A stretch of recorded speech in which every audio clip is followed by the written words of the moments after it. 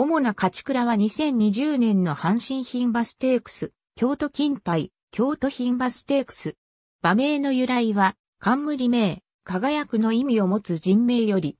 2017年11月5日に、京都競馬場で行われた2歳新馬戦に3番人気で、出走、デビュー勝ちを果たす。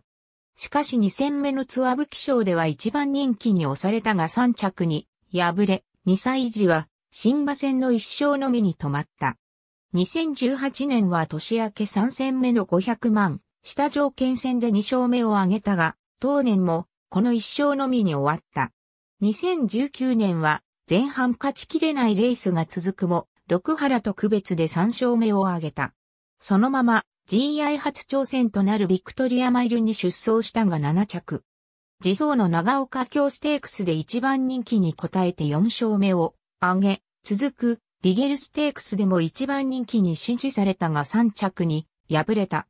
5歳初戦は京都金杯から指導。スタート後6番手からレースを進め、絶好の手応えのまま直線に向くと、前で粘る馬や、重賞馬ダイアトニックの追撃を抑えて、重賞初制覇を果たした。続いて、重賞連勝を目指して、京都牝馬ステークスに出走。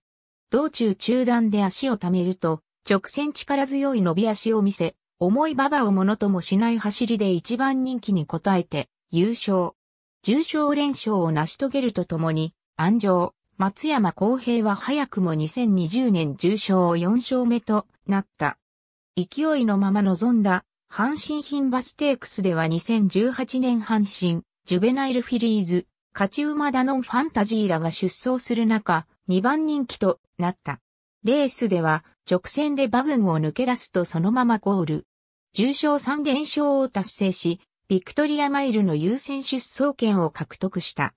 COVID-19 の影響で無観客開催となったビクトリアマイルではアーモンドアイに大きく離されたものの2着に入選した。その後は秋まで休養し5ヶ月半ぶりの実戦となったスワンステークスは一番人気で出走するも直線で伸びず10着と惨敗。京都競馬場の改修工事により阪神競馬場で行われたマイルチャンピオンシップでも10着となる。自走、阪神カップは、中段から足を伸ばし4着に入選する。6歳、初戦、3ヶ月の休養明けとなった高松宮記念は、初の1200メートル戦に対応し6着となる。